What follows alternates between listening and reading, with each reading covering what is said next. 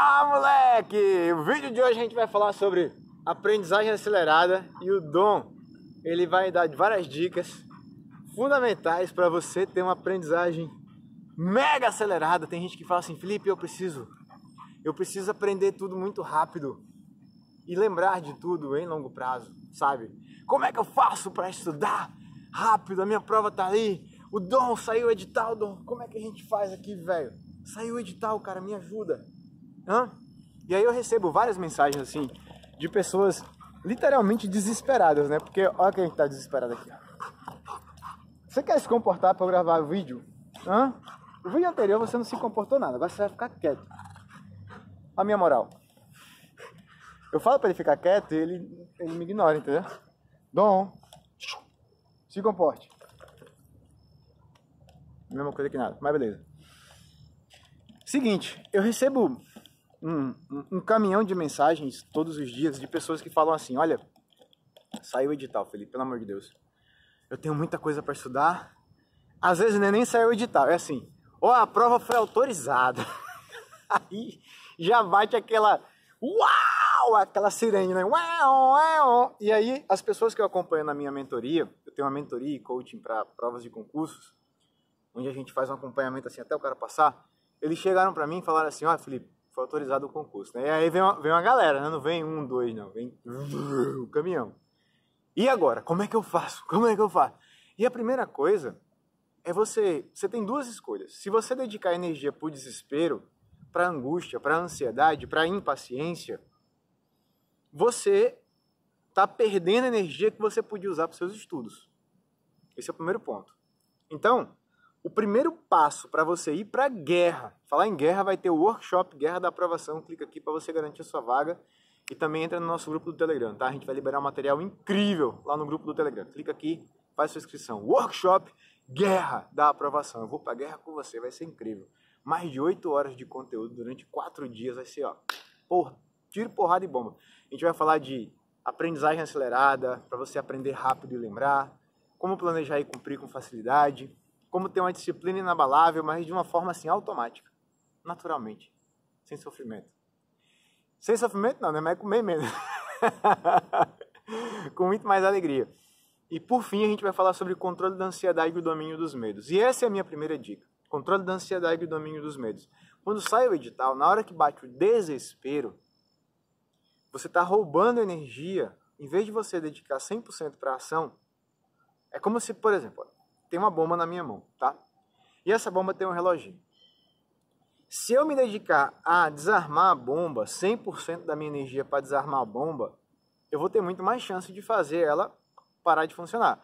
Agora, se eu ficar aqui na bomba e olha para olha o relógio e tenta, e olha para cada virada de cabeça que eu dou olhando para o relógio, eu perco tempo de desarmar minha bomba.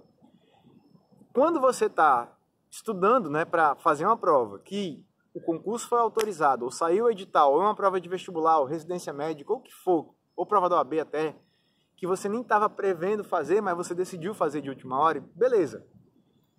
Na hora em que você se dedica para estratégias de, por exemplo, começar respondendo questões, isso vai ser, vai tornar os seus estudos muito mais dinâmicos.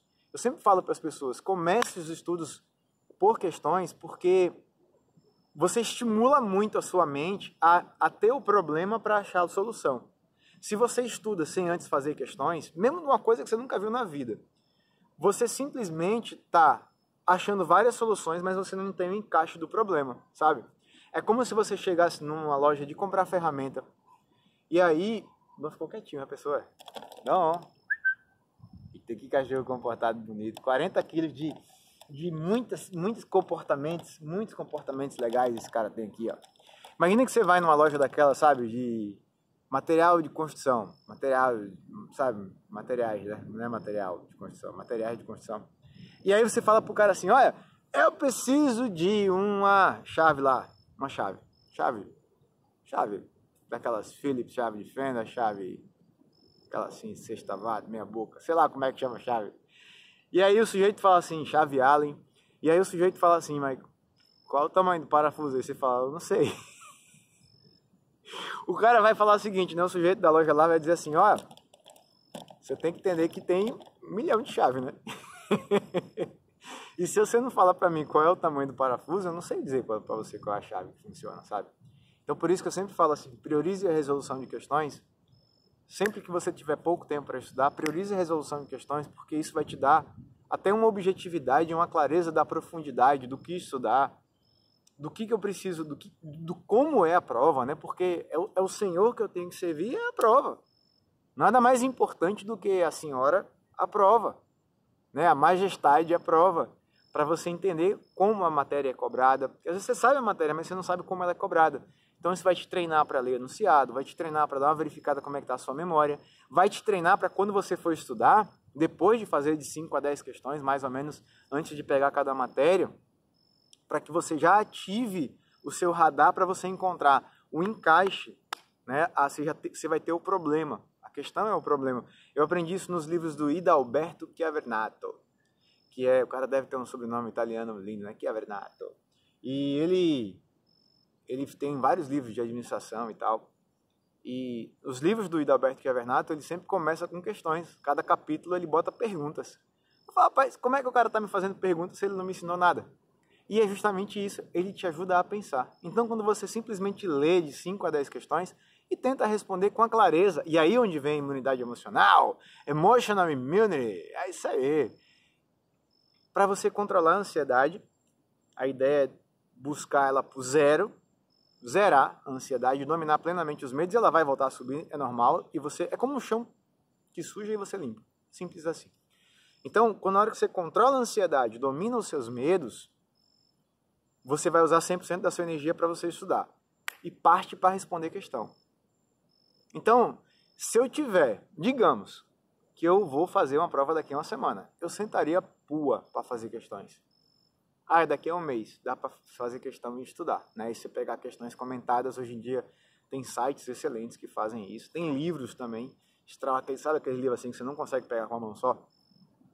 Tem livros extraordinários, hoje em dia tem muito material que permite que você faça um estudo direcionado por questões. É muito bacana isso aí. Principalmente quando você tem pouco tempo. Mas o grande segredo, o maior de todos para mim, é o controle da ansiedade. Sabe por quê? Digamos que você tenha o melhor método de aprendizagem, as melhores técnicas e estratégias de aprendizagem do mundo.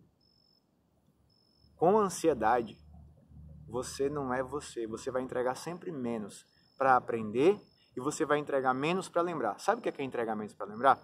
É chegar na prova, desmarcar certa para marcar errada. É chegar na prova e você sabe, eu tenho certeza. Deixa aqui os seus comentários. Eu tenho certeza que você já foi para uma prova e entregou menos do que você tinha. Oi, meu amor, chegou ali minha esposa. Posso filmar você? Tá linda. Coisa linda, tá lá dentro. não tá aqui comigo. Ele tá lendo onde? Tá perturbando aqui, ele tá vendo a borboleta. Então é o seguinte, você sabe, você sabe que você já fez uma prova e entregou menos do que você tinha para dar. Você sabe que você já teve resultados inferiores do que você poderia ter tido. Você sabe disso. Isso se dá pela falta de controle da ansiedade e o domínio dos medos. E eu tenho me especializado nisso há mais de 20 anos para ajudar as pessoas a realizar objetivos. Se você me perguntar, Felipe, qual é a sua função? O que é que você faz da vida? Eu sou uma pessoa que ajuda as pessoas a chegar aonde elas querem chegar. Aí para guerra, se mantendo em paz. Encontrar a alegria de viver e ter uma produtividade extraordinária, cada vez melhor. Ou seja, você aumentar a sua performance na vida em termos de concentração, memória, uma disciplina inabalável, mas de uma forma natural, sem sofrimento. Então, hashtag fica a dica. Quando você começa essa jornada de preparação para uma prova, primeiro ponto é como se você fosse cheio, você compra uma casa, né? Eu estou aqui na, na porta da minha casa. Minha casa está ali atrás. E eu cheguei na minha casa.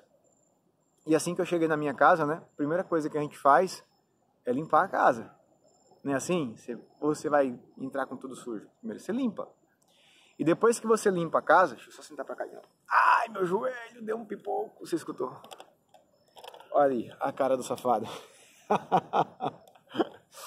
então, na hora que você entra numa casa, a primeira coisa que você tem que fazer é limpar a casa, né? Não tem como. Se você ignorar a ansiedade e, e aquela frase que eu abomino, né? Vai com medo mesmo. Sabe o que acontece? A sua preparação, o pouco tempo que você tinha, você vai ter menos ainda, menos tempo, menos energia, E quando você chega na prova, mesmo que você tenha aprendido tudo, olha quem tá chegando lá atrás, Natália, né? ela nem sabe que eu tô filmando ela. Vou virar para lá. e aí você vai, você vai chegar na prova e não vai ser capaz de entregar tudo que você poderia. Eu vou te falar um negócio. Nada mais triste do que uma reprovação desnecessária. Nada mais triste do que um insucesso quando você tinha todas as condições de passar. Nada mais triste do que você chegar para as pessoas que você ama, sabe? E você chegar para elas e falar assim: eu não fui capaz de ser aprovado. E aí as pessoas te perguntam assim: você errou aonde? E você não sabe responder.